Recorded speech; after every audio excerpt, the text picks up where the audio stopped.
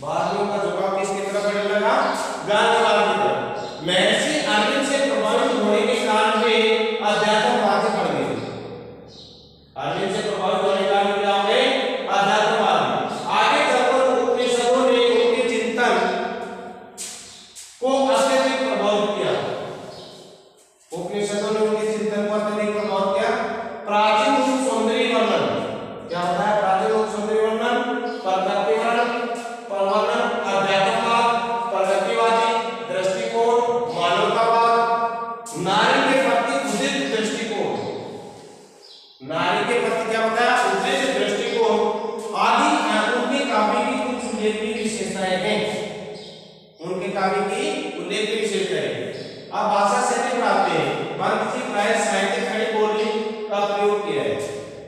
पंत जी ने अपने साहित्य में प्राय खड़ी बोली का प्रयोग किया है। उनकी भाषा सहज सरल और भावानुकूल है। कैसी है? सहज सरल और भावानुकूल। जिससे संस्कृत के तत्सम तद्भव शब्दों के अतिरिक्त अरबी फारसी तथा अंग्रेज़ी भाषा के शब्दों का भी पर्याप्त मिश्रण हुआ है। मिश्रण को शब्द शिल्पी भी कहा जाता है। देखिए, एक प्रश्न पहले आया कोमल भावनाओं का दूसरा है। को शब्द शिल्पी भी कहा जाता है। क्या है? कि प्रकृति के बारे में जो शब्द कहते थे, ऐसा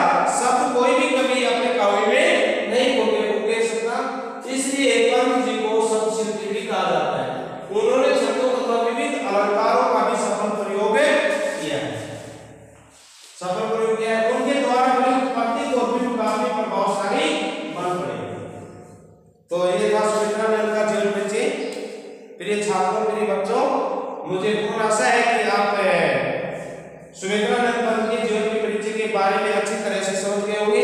फिर भी अगर आपको कोई डाउट है या किसी प्रकार की कोई समस्या आती है तो आप मुझे किसी भी समय